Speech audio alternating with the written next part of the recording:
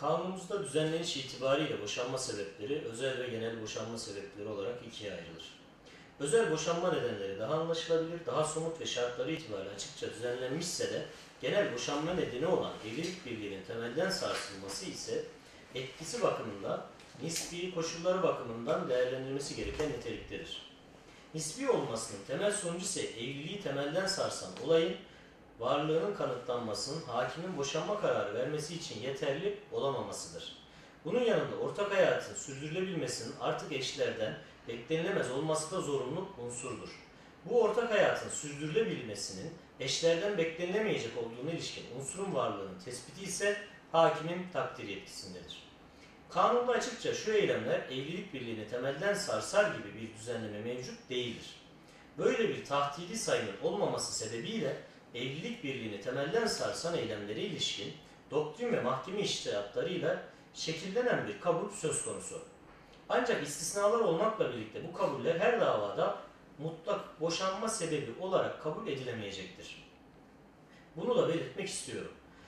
Her boşanma davası özelinde evlilik birliğini temelden sarstığı iddia edilen olayların değerlendirilmesi gerekmektedir. Örnek vermek gerekirse, Yargıtay 2. Hukuk Dairesi'nin vermiş olduğu kararlardan birinde kadının ev işlerine gerekli özeni göstermemesi hali ortak hayatı temelinden sarsacak ve evlilik birliğinin devamına imkan vermeyecek bir durum olarak kabul edilmiştir. Burada ev işlerinden kasıt klasik anlamda temizlik, çocuklarıyla ilgilenmek, ev düzenini sağlamak bakımından çamaşır, bulaşık gibi işleriyle yemek yapmak gibi işler sayılabilir. Ancak bu anılan kararda her boşanma davasında emsal teşkil etmeyecektir. Zira anayasamızın çalışma hakkı ödevi başlıklı 49. maddesi açıkça çalışma herkesin hakkı ve ödevidir. Devlet çalışanların hayat seviyesini yükseltmek, çalışma hayatını geliştirmek için çalışanları ve işsizleri korumak, çalışmayı desteklemek, işsizliği önlemeye elverişli ekonomik bir ortam yaratmak ve çalışma barışını sağlamak için gerekli tedbirleri alır. Hükmü yer almaktadır. Maddi hükmünden anlaşılacağı üzere de çalışmak herkesin hakkı ve ödevidir. Kadın ve erkek açısından ise hiçbir ayrım gözetilmeden ilgili düzenleme yapılmıştır. Bu kapsamda kadının aktif bir hayatı olan ev ekonomisine katkı sağlayan ve buna rağmen asgari şartlarda ev işlerine yardım eden kadın açısından ev işlerine zaman ayıramamak boşanma nedeni olarak kabul edilemeyecektir. Ya da eşlerden biri çalışıyor, diğeri evde kalıyorsa cinsiyet ayırt etmeksizin evde kalan eş ev işlerini halletmek konusunda çaba sarf etmelidir.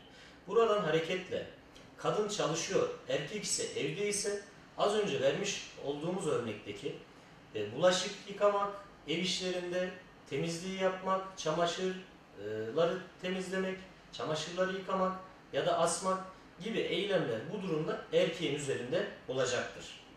Yine Yargıtay kararlarındaki kabul doğrultusunda sık sık evi terk etmek veya eşi evden kovmak evlilik birliğini temelden sarsan eylemlerdendir. Ancak eşlerden birinin diğer eşe karşı fiziksel, psikolojik, ekonomik şiddet uygulaması karşısında can güvenliği itibariyle tehlikede olan eşin diğer eşi evden uzaklaştırması ya da kendisinin evden uzaklaşması boşanmada kusur olarak kabul edilemeyecektir.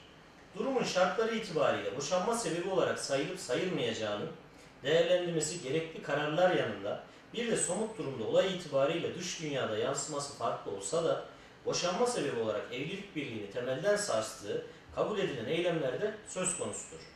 Yine örnek vermek gerekirse Yargıtay kararlarındaki kabule göre güven sarsıcı davranışlar evlilik birliğini temelden sarsar mahiyettedir.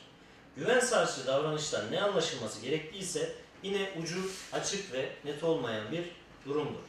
Bu durumda somut durum özelinde yerel mahkemece değerlendirme yapılması gerekecektir. İştihatlar çerçevesinde verilen emsal kararlar çerçevesinde değerlendirdiğimizde örnek verecek olursak, güven sarsıcı davranışlara örnek olarak eski sevgilisi, eski nişanlısı, eski eşiyle görüşmek, karşı cinsten birisiyle el ele tutuştuğunun görülmesi, eski sevgilisini unutamadığını söylemesi, fotoğrafını saklaması ve eski sevgilisini araştırması, parklarda ve benzeri kamu açık alanlarda karşı cinsten biriyle oturduğunun görülmesi, Facebook, Instagram, WhatsApp gibi sosyal medya platformlarında kendisini bekar olarak tanıtması, başka birisiyle ilişki açık olduğuna ilişkin paylaşımlarda bulunması, iletişim araçları, sosyal medya platformları ile, karşı cinsten kişiler ile mesajlaşmalar, mutat olmayan telefon görüşmeleri ya da olağan olmayacak şekilde sık görüşmeler. Bu örnekleri çoğaltmak mümkündür.